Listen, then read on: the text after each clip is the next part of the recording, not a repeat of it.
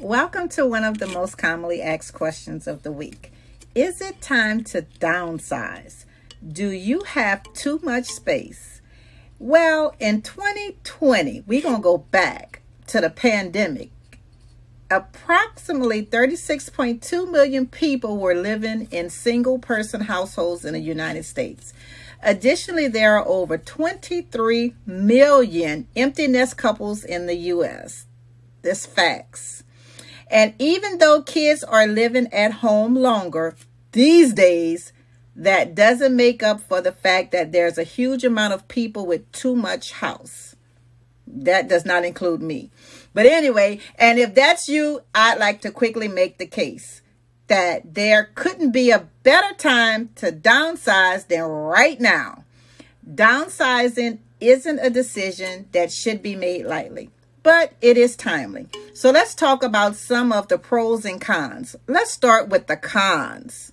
Con number one, the emotional attachment that we have that you have to your home is strong. It can be really hard to let go of a house where you were raised, your child where you where where excuse me where you raised your children and had some very memorable experiences now if you're downsizing into a smaller home it can also be hard to give up some of the stuff you accumulated that lives in your house. I think that's where i fall at. But anyway con number two. Con number two is finding a suitable replacement in the same location. Depending on where you live, you may run into issues with finding a home that is still close to family and friends. May, it may not, especially with the way the market is right now. It's also a lot of work to move. Going through all of your stuff, making decisions on what to keep and what to toss or what to give away, what to donate. And packing everything up is all a huge and draining task. I know.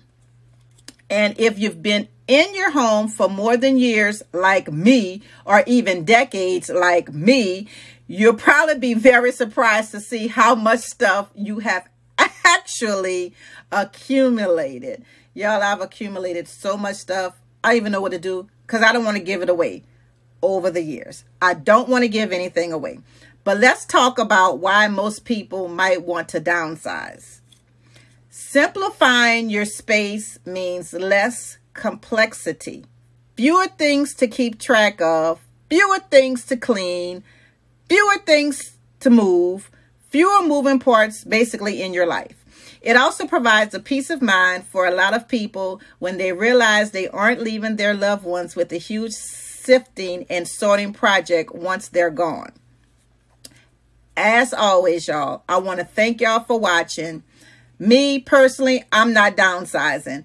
I need to upgrade quick. But anyway, as always, thank you for watching.